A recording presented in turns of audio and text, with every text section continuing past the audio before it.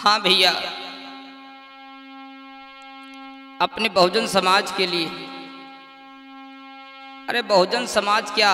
सर्व समाज के लिए ये गीत मैं देने के लिए जा रहा हूँ। ये गीत ढोंग पाखंड पे आधारित है। जैसा कि बड़े बड़े विद्वान लोग बताते रहते हैं, मैं कुछ नहीं कहता। मैं तो छोटा सा नादान आपका सेवक हूँ। और जब तक ज़िंदगी है, बाबा साहब का सिपाही बना रहूँगा, अपने समाज को जगाता रहूँगा। कहना है, क्योंकि कहते हैं कि कर्म प्रधान विश्व रचिरा खाओ जो जस कर तास फल चाखा। कर्म प्रधान है। जैसा मेहनत करोगे, वैसा फल मिलेगा। अगर तुम मेहनत नहीं करोगे तो तुमको फल मिलने वाला नहीं है। ये चौपाई कह रही है, और सभी लोग समझदार हैं। तो इसीलिए बिना मेहनत कुछ नहीं रखा है। मेहनत करो, है? तो लिखा गया है, आइए नई पेशकश आप लोगों के समक्ष देने के लिए जा रहे हैं। गौर से सुने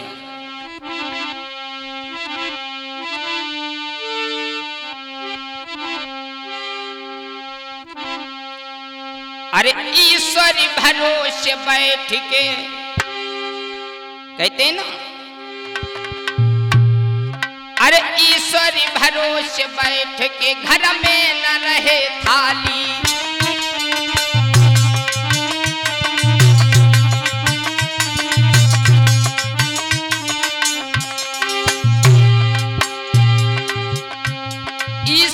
ईश्वर भरोसे बैठ के घर में न रहे खाली।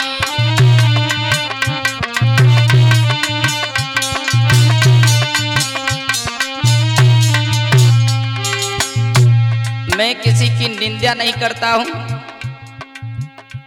मेरी बात केवल एक एक बात को सुनना और फिर समझना, फिर कमेंट में जवाब देना। मेहनत नहीं करोगे तो फल मिलने वाला नहीं है। चाहे जो भी हो। है? कहा गया है?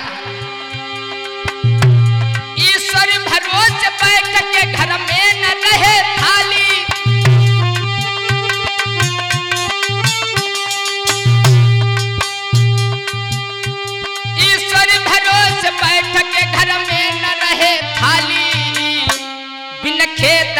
बीज बोए तुमको मिले न बाली।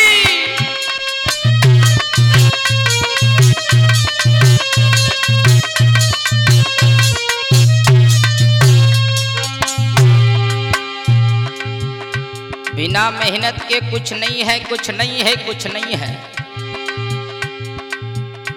जब तक तुम खेत में बीज नहीं बोओगे, तब तक तुम्हें एक बाली, एक दाना नहीं मिलने वाला। इसीलिए मेहनत करो।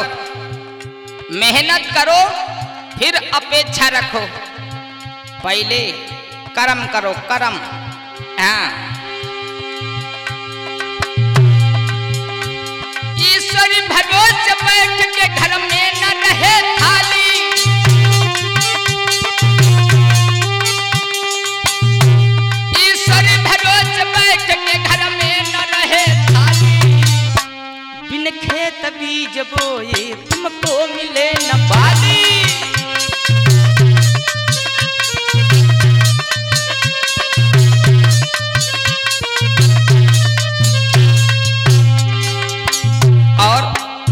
इतना ही नहीं।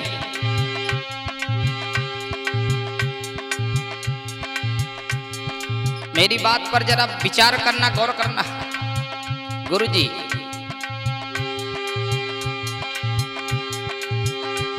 गंगा में फल जो होता, अंधा न खड़ा रोता।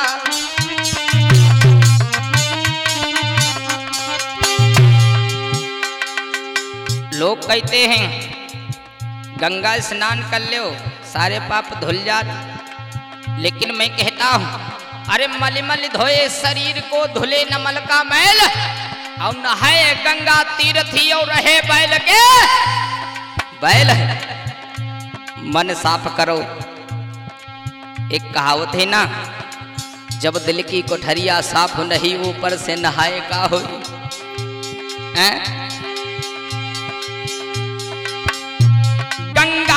फल जो होता अंधा न खड़ा रोता।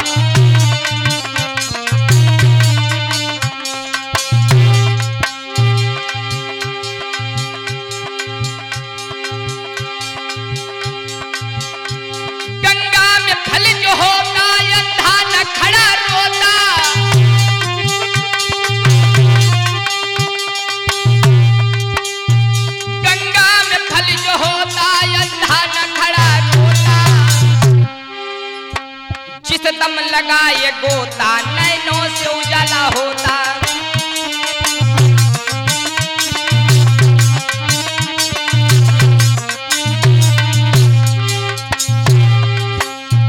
जिस दम लगाए गोता, नैनों से उजाला होता।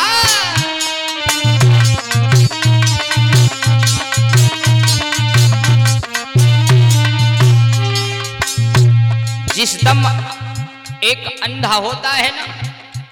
अगर अंधा उस गंगा स्नान में स्नान कर ले, गोता लगा ले तो उसके नैन वापस मिल जाते हैं? लेकिन ऐसा नहीं है। कहते हैं।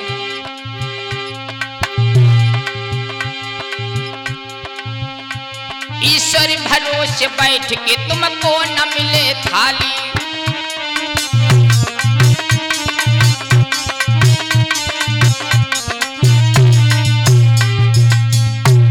अगर अरे इंसान लोगों की क्या बात करें? आपने कुत्ते को देखा है? कुत्ता भी द्वार द्वार पर घूम करके अपने भोजन का प्रबंध करता है। हैं? विचार करो। मेहनत करना चाहिए। ईश्वरी भरोसे बैठ के घर में न रहे थाली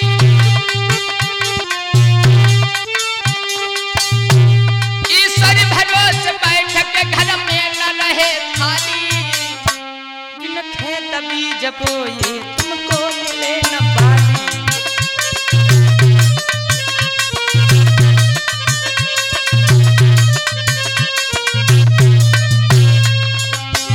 और कहना है,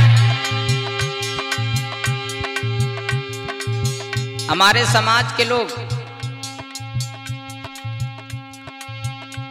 मेरी माताओं बहनों, अगर माँ बाप पानी मांग ले तो देने में दुश्वार हो जाता है? और गिलास में दूध को लेकर के पत्थरों पे नाने, नहाने, नहवाने का काम करती है, चढ़ाने का काम करती है। लेकिन मेरी एक बात को सुने।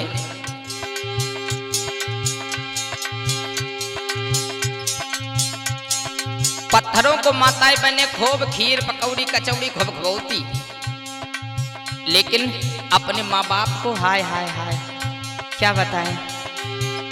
लेकिन मेरी समझ में ये आया, पत्थर जो भोजन करता, टट्टी ज़रूर जाता।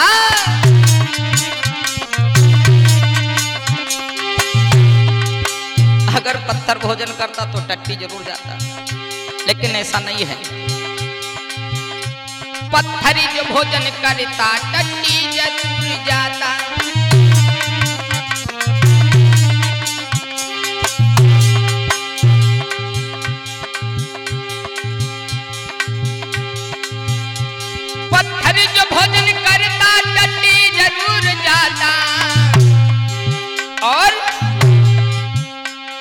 सब है झूठ गाता, फिर क्यों चढ़ाए डाली?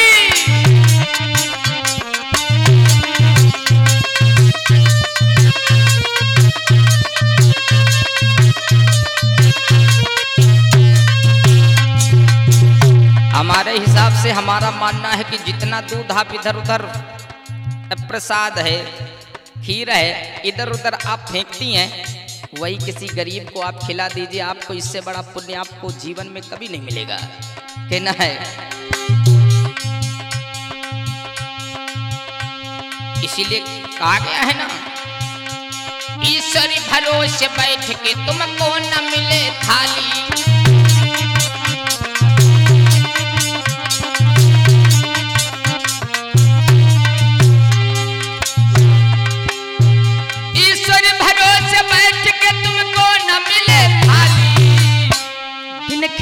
खेत बीज बोए तुमको मिले न बाली।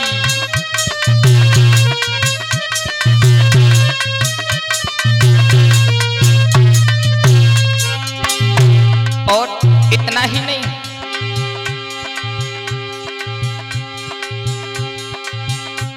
पशु देवियों पे काटे, सुनी प्रथा ये बांटे।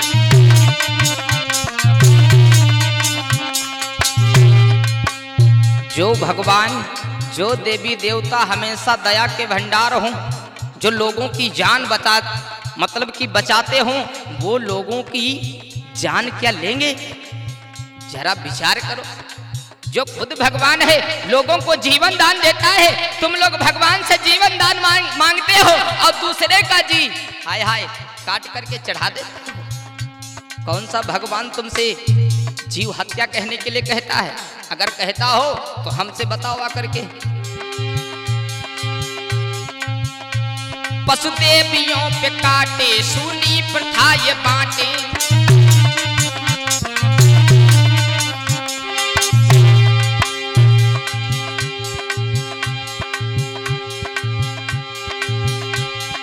देवियों पे काटे, सुनी प्रथा ये बाटे।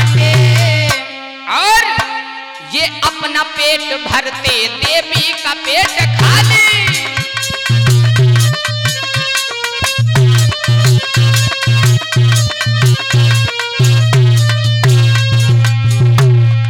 अरे कौन भगवान?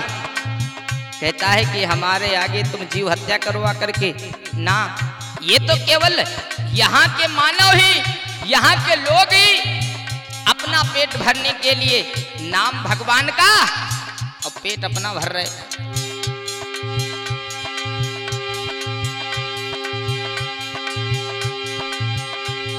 कहना है, वो अपना पेट भरते देवी का पेट खाली। बिन खेत बीज बोए तुमको मिले न बाली।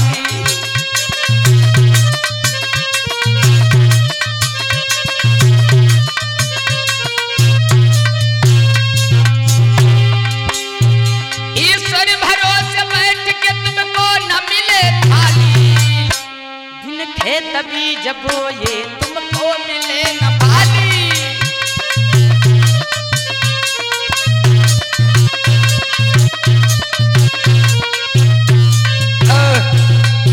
बोली भगवान बुद्ध की, बोली बाबा साहब की। विचार करना, फिर कमेंट में सोच समझ करके जवाब लिखना।